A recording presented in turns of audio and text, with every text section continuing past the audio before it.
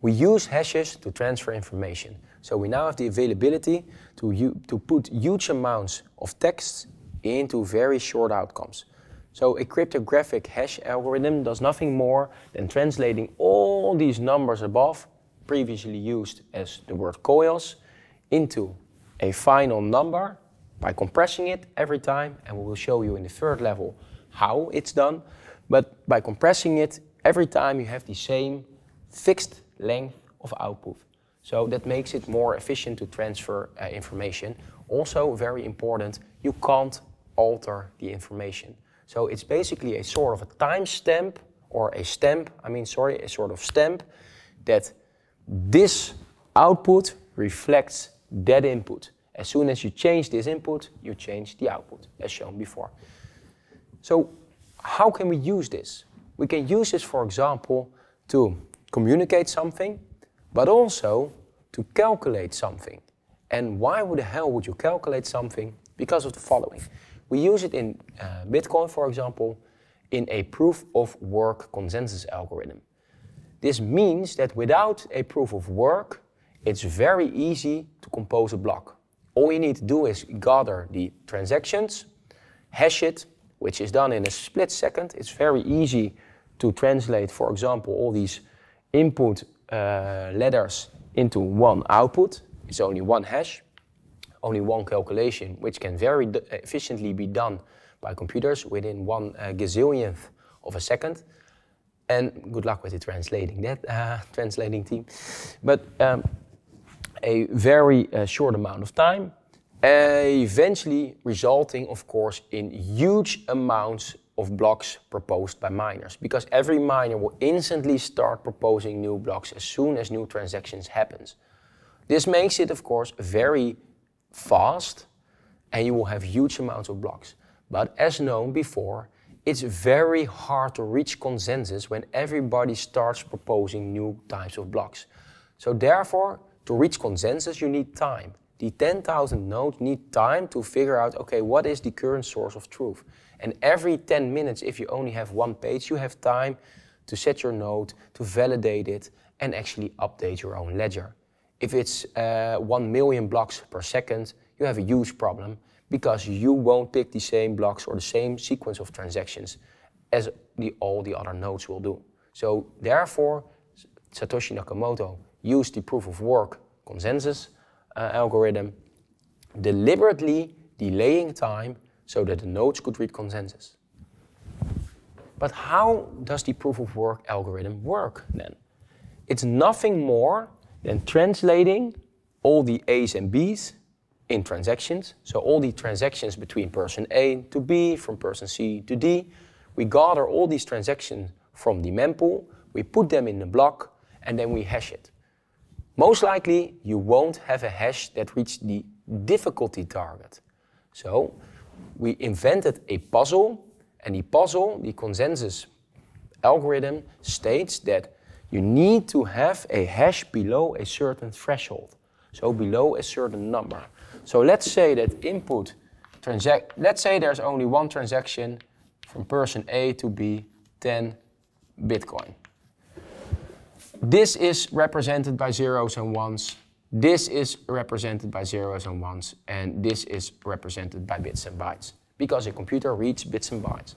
We gather all these bits and bytes, and we the outcome, whether this states coils or uh, public key A, public key B, and it doesn't matter. They're just bits and bytes. So the computer calculates a number, which is a huge number, for example, uh, that consists of uh, 10 uh, till the, till the 18th, I don't know if that's even correct, sorry for that one. But importantly is this leads to a certain output.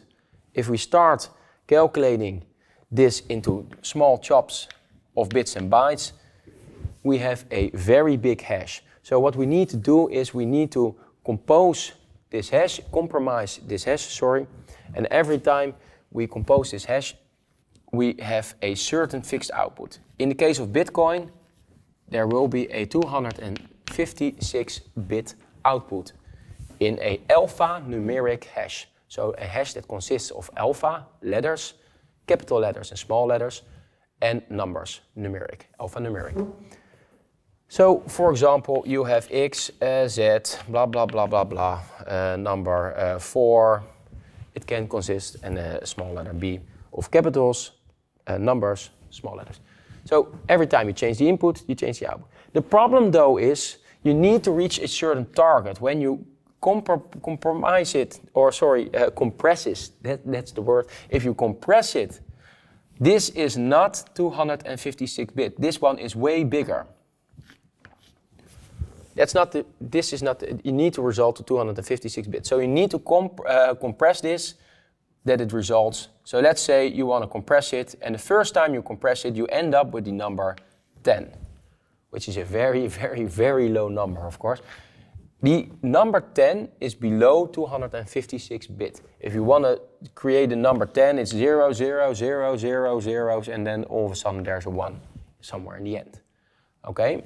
So if you have this number, you are below the 256 bit. In this case, that needs to start with 18 zeros. So 4, 5, 6, 7, 18 zeros. And then you can have, for example, the x, z, or another hash is uh, 3, 5. But it needs to start with 18 zeros. We read 18 zeros. We humans read 18 zeros. But the computer reads a number.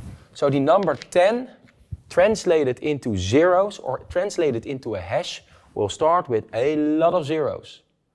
But the, this number, 10 to the 18th, won't start with 18 zeros. So this number is incorrect. This is an incorrect hash. This one is correct. Of course, the hash itself is correct, but according to the consensus protocol, which we all agreed upon, is that your hash the outcome of this transaction needs to be below the difficulty target. In other words, you need to score below a certain number. So how can you do this? This you can do by adding each and every time a random number. So let's say we add the random number 1, which changed this one in a 10 to the 19, for example, but if you compress 10 to the 19 or 10 to the 18, you will get a completely different outcome.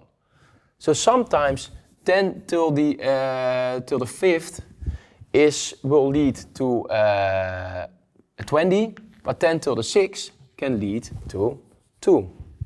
So if this one increases, it doesn't matter for this compression. You just need to compress it more often. So every time you change the input, the output changes.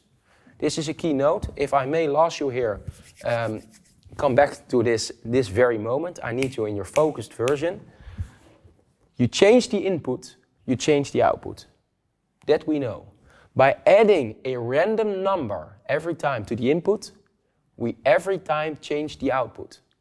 So every time we keep adding a random number, so not 1 and then 2 and then 3, but more 1, uh, 2 billion 350, a random number, you change the output and the output needs to be below uh, or needs to start with 18 zeros. So if you start or if you hash this transaction and if you find the number, let's say for example number 3, you might end up with 18 zeros. Then you can, then you can propose your block you can say, hey nodes, hey other miners, I have a block of a valid transaction. Person A had indeed 10 bitcoins and could indeed send it to person B. So check, that's a good one. And if I hash it with this random number, my hash is starts with 18 numbers and therefore is below the number threshold because the computer sees a number, we see a hash with 18 numbers, and therefore my block is valid because the transaction is valid and I solved the puzzle. And this is why this is called proof of work. Because adding a lot of different random numbers uses a lot of work, uses a lot of energy and costs therefore a lot of money. So you need to prove your work there. And the beauty in this design here is that it doesn't matter which random number you pick. There is no shortcut, or it does matter what random number, there is no shortcut. So let me rephrase that. The beauty is it in its design is that there is no shortcut other than just trying out as many random numbers as possible. So the stronger your calculation power of your computer, the more hashes your computer can calculate within a second, and therefore the bigger the odds are that you are able to target with a random number a hash that starts with 18 zeros. And that's why people are buying a lot of computer power so that they can, and a lot of energy of course, so that they can try a lot of numbers within a very short amount of time, better than the competition, and therefore be faster than the competition, propose the block faster, and therefore reap the rewards, in this case Bitcoin. It's very, very important, and not a lot of people realize this, therefore that the very first time in human history that we now use a currency, Bitcoin, or any other cryptocurrency that uses proof of work, that is represented by energy. So we use energy to create this monetary value. And basically, you can say Bitcoin consists of energy dollars. So we tried, of course, or energy dollars or euros, doesn't matter how you pay the energies. But for the first time in human history, we have value representing energy. And since our entire universe exists out of energy, and energy is one of the main elements in our very being. This, of course, is perhaps one of its truest forms of money we've had so far. And I always like that very idea regarding the evolution of money, of course. So for now, hopefully you understand what proof of work is. A final very important keynote that I want to give you is that you can compare this proof of work as a Sudoku puzzle because it's very easy to check is this indeed a valid hash that results in 18 zeros? Because if you have this transaction and if you have the final random number, it's only one hash to calculate. So it's very easy for something to somebody to verify it. But of course, it's really hard to calculate because before you finally have that one random number, also known as the nonce, you have tried many times before. So very easy to communicate and to validate, very uh, expensive to calculate.